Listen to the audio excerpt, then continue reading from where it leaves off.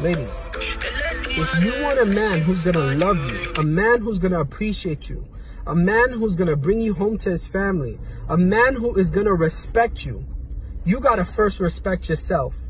You can't be out here on social media shaking your ass and posting booty pics left and right. What man is gonna see you as wifey? What man do you think is gonna take you seriously? What man do you think is gonna wanna bring you home to his family? Of course, he's going to want to take advantage of you. He's going to want to use you. He's going to see you as an object. Why? Because you first gave him that impression of who you were. It's not for the views. It's not for the likes.